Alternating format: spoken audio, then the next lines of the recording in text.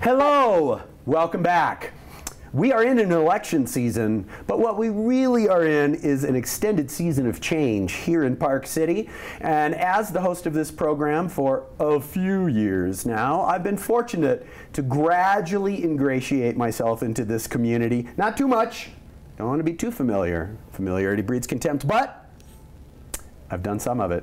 And one of the people who has been a great guide for me, a passionate advocate for this town, for Summit County, and for good times, she's the glamper of all times. it's my pleasure to introduce, welcome back to the show, former Summit County Councilor and current business cool lady in Park City, Claudia McMullin. What's up, girl? How nice are you, hon? It's so good It's to see you always. long. Your hair's still purple. Still purple, getting more perp tomorrow. More Perp time tomorrow. Just as long as there's no purple drank served with that. You no purple be, drinks. No, Uh, no cough syrup in your cocktail. No there. cough syrup in my cocktail. Just purple color Just in your purple hair. color in my hair Good. tomorrow. Awesome. Indeed. How are you? I'm good. Good. How are you?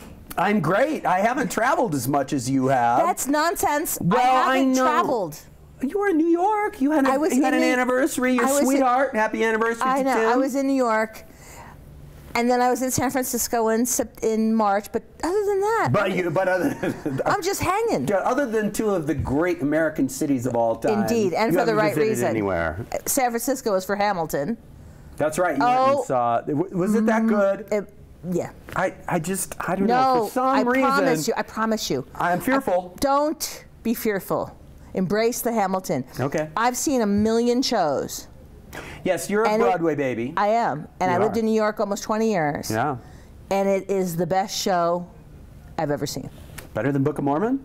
Better than Book of Mormon. And I loved and I loved Book of Mormon. Yeah. I did. I laughed. I laughed. I laughed. Laughed. but I love. I mean, Hamilton is is. Well, I mean, and of course, the, the other thing, and I, I kind of say this about country music, which I've never liked country music, but Yeah. somewhere in my teens, I realized that the fact that millions of people all over the world love country music must mean that there's something good about it. Loretta Lynn. Yeah, Conway Cole- Twitty, yeah, Coal Miner's George Daughter. Jones, Oh my- all of yeah. that. Yeah. Yeah. but more more to the point with Hamilton that uh, uh, I can't say his name, Luis. I mean, he is Lin Manuel. Lin Manuel Miranda. Miranda. Yes. Lin Manuel Miranda. Yes. Is I mean he's he's a global superstar. I think. Uh, yeah, but he. It, it's Jay Z really. is his best friend now. It really doesn't matter if you see him. He wrote the he wrote it. He wrote the book. Seeing him in it doesn't make any difference because It's just the everybody's thing. amazing in it. The and I saw it in San Francisco with the traveling cast, and it was amazing. Sure, sure. A great show is a great show. Great show. And I saw Evan people. Hansen this week. Oh, nice. Dear Evan Hansen, it was great. Wow, you've Yeah. been you're living life. Although I we, we have to, uh, uh, I don't know if on, on your uh, one shot there, if folks can see your, that you still are wearing your apron, Never take it off. right? Yeah, exactly. Never You just got out of bed this way. Yeah. yes. No, but I've been running around today. I didn't get a chance, and I and I was like, eh, whatever. I'm wearing it. you are. You're living it. I, I am living it. That's her damn You sure. don't smell like coffee beans though, so not that that would be a bad thing. No, I, thing. I'm not at the roaster that often. I see. I'm, uh, the roasting facility runs itself. I've got great people over there. I'm there. I run in and out. They know I'm where at- the power is, where the beans are to put in the roaster. Yes, and- and my husband's out there to help with like machine issues. Nice. And then I'm at the shop, and then I'm at the shop growing the brand, and then I'm at home. I'm doing. I'm in a lot of places. You are. I am. So the reason I've asked you here tonight, Claudia, Talk to me. Well, I, I, I think this is just kind of a moment for a little bit of an introduction because uh, the background is that Claudia and I had a conversation on the phone on Friday, and I was a little um, enlivened You were a smidge. by uh, an article that appeared in the Park Record regarding a proposed upcoming uh, General tax, fund tax general increase. Mm-hmm. fund tax increase in the amount of 27 percent, Mm-hmm. which is over one quarter of an increase again. Mm-hmm. See how I did that with magical numbers? I, I studied them all That's good. in all seriousness, I found myself wanting after reading this article. More and- info. And, there was an, uh, yeah, and, and it just, I, I was upset that there wasn't a rationale. It was like, well, we haven't raised taxes in 30 years, so it's 27. Okay, And I- then there was mixed in some uh, reference to the reserve fund. Uh, and again, the generalities were sometimes there are millions of dollars in the reserve fund, and now there's nothing. No, that's not true. And well, again, I, this Okay, is so I'm going to I'm going to talk about the reserve fund first. Okay, Awesome. So the reserve fund is um, statutory as to how much you need to have in the reserve fund, and what the council did during my tenure Yes. is we passed an ordinance or we signed some oh, whatever, um, where we we we made that amount more. So say you're supposed to have 2%. I'm, I'm just saying for the sake of argument. You're supposed to have 2% in the reserve fund, and we said, no, we're going to have 5 We want to have 5%. and is that two percent of your budget I think it's 2% of the fund, of, of what is in the general fund? I think so. Okay, But okay. now you're, I'm have to reach back too That's many okay, years in my past. okay. But let's just say, okay, so statutorily you have to have X percent, and the county council back a few years ago said, no, we want Y percent, X plus 2 percent, Mm-hmm. say. So what's happened is we are uh, we are at least at the statutory level now, so we're not in any kind of violation, and we're certainly not at zero. Right. So what we what apparently the county has done is it's it's under its self-imposed two plus X Right, percent. Right, right. Statutory percent. Right. Well, the statutory percent is the floor, and then the council Okay, made okay. a ceiling, and in between the two lies. There's nothing that requires us to stay at. It requires them. I shouldn't say us because I'm not on anymore. okay. But requires anyone to stay at this. But they went below, and they went below, from what I understand, um, to help pay for the Kamas Library building, pay as you go rather than bond to build a building. Right. So it saved interest costs and things like that. But we are still, not we, the county is still within its statutory requirement for the general fund, which is unlike what I told you back in 2010 when I when we inherited the 20 2008 budget. Right. and then in 2009 you know we were in the recession and then in 2010 we're like ah we were told ah you're below the statutory requirement. So then we had to shuffle we had Gin to it up, as yeah, well I don't know we had I don't even remember exactly what we did but we had to take care of business and we did. Right, right. but that's not the case that's happening today. So that's the why behind that. Um, the general fund, okay, so here's the thing about the general fund. It funds critical things like police, um, uh, trash pickup, uh, plowing, you know, the things that everybody needs. No, Sure, it doesn't sure. it doesn't fund fluff. It Right. doesn't fund the fluff comes from I mean what what people may perceive as fluff might be, you know, sustainability or the these cuz those don't come from the general fund. Right. Those come tho- th- what funds those things which are all were all very demanded by our consti- the constituents, Yes. not ours, you know. Right. Constituents. Um, so the basic services that are, are provided by the general fund, the general fund is not bringing in enough money to cover those basic needs any longer. And that is because back in the day, so the, the general fund increases with new growth. New growth meaning commercial and residential. And people think, oh, well, there's so much new growth happening. Not true. The growth rate in the mid 2000s was was sufficient sus- to sustain the general fund in a way to provide the services that we all demand.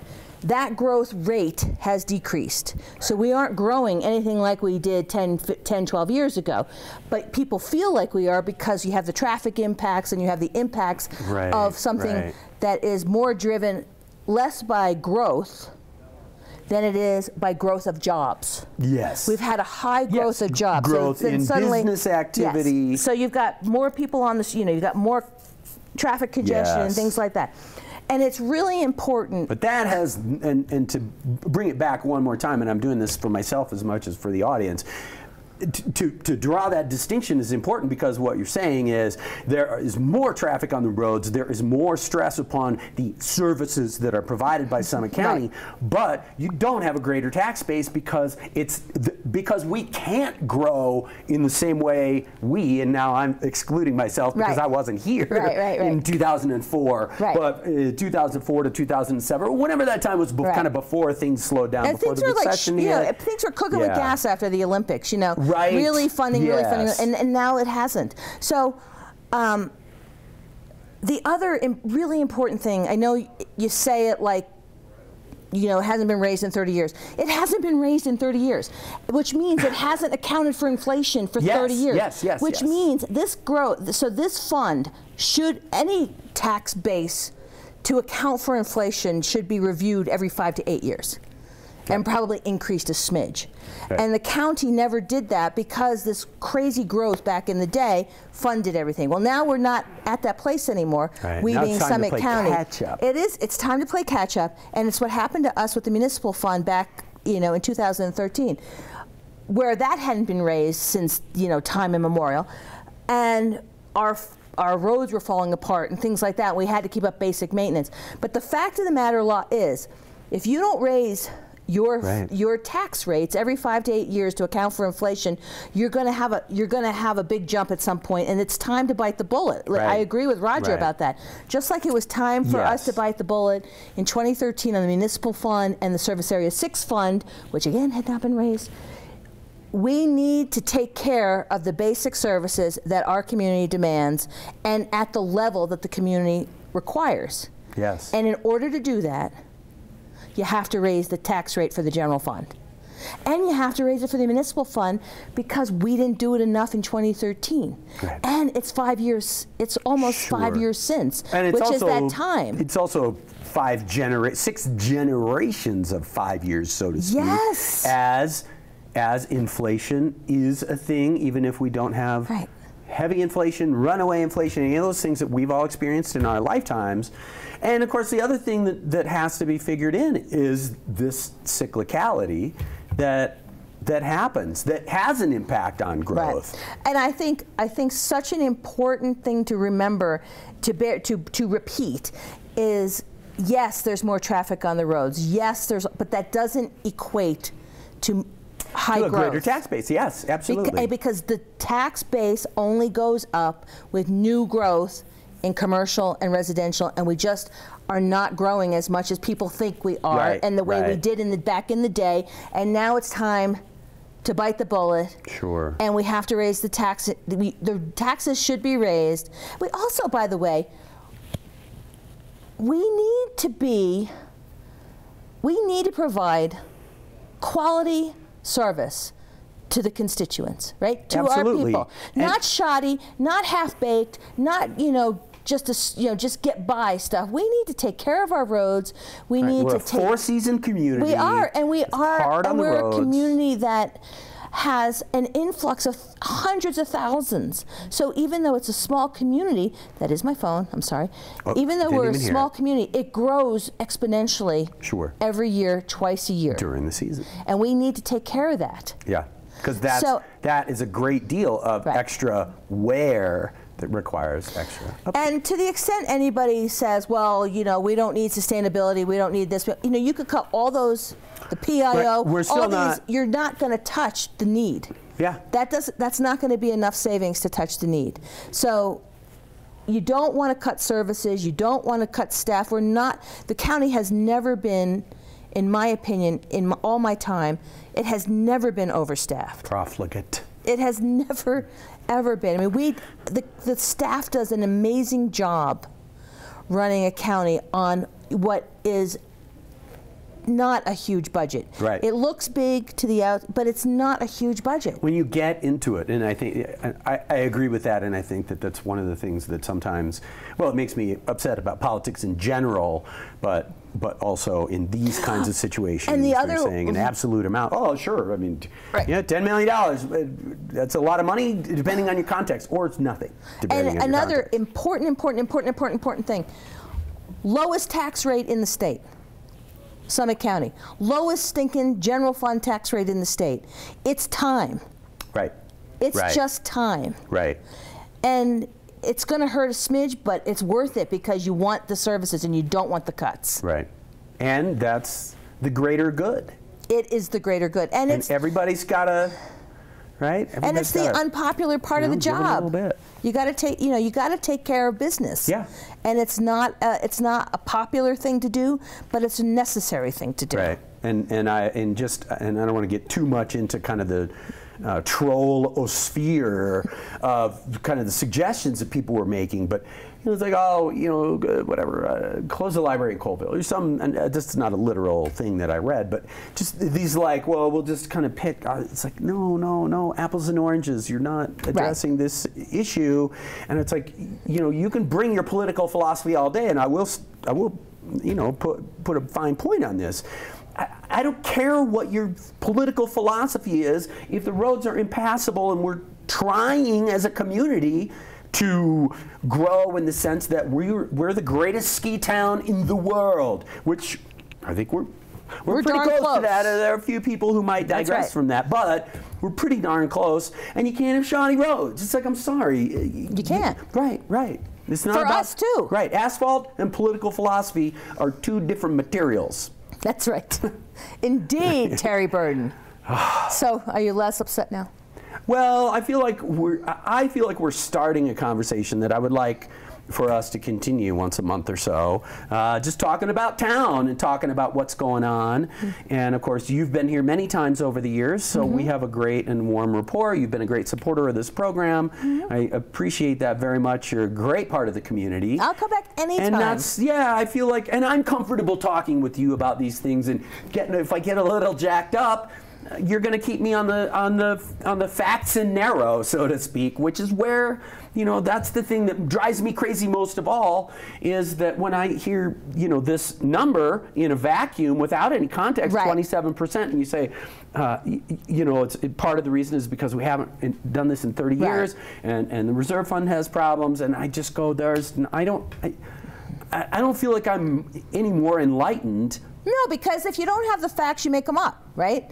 If you don't have facts, You- you, yes, you create your own. them. You create your own narrative as to the why Right. behind it. And I it. said to you on the phone on Friday, I said, look, I'm not presuming that there's some nefarious thing going on as to why there's not money in the Yep. general fund, or excuse me, in the reserve fund uh, to the tune of some seven figure amount.